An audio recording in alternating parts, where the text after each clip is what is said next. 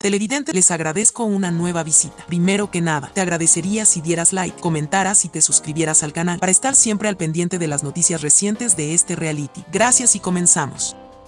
Survivor México 2022. Warrior opina sobre la polémica de Rogelio en competencia.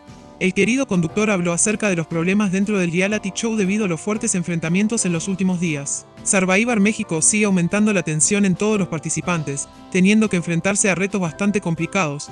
Los integrantes tanto de halcones como de jaguares se están dando cuenta que su camino no será tan sencillo como creían. Es por eso que sus estrategias deberán ayudarlos a pensar para poder encontrar una solución a sus problemas y todas las peleas antes de terminar arruinando el plan que tenían para ganar a toda costa la temporada más fuerte hasta el momento. Del reality show. Las peleas y los enfrentamientos han llegado a un punto que incluso ha impactado al conductor Carlos Guerrero, Warrior, quien ha presenciado una actitud bastante intensa en los integrantes de la tribu de jaguares tras la expulsión de Rogelio, temiendo por la unión de todos los sobrevivientes en esta etapa bastante dura de la competencia. Cada uno de los obstáculos en el camino de los sobrevivientes les servirá como una prueba más para entender que Survivor México no es un juego cualquiera y que deberán avanzar con mucho cuidado si no quieren terminar teniendo una de las peores experiencias en sus vidas. La expulsión de Rogelio en Survivor México. Siendo expulsado por su misma tribu, Rogelio tuvo que enfrentar un momento bastante incómodo después de que se descubriera que junto a Joseph Farah, el sobreviviente había estado consumiendo proteína para poder tener las fuerzas suficientes para ganar todos los juegos en la temporada, poniéndose en riesgo y engañando a su propia tribu.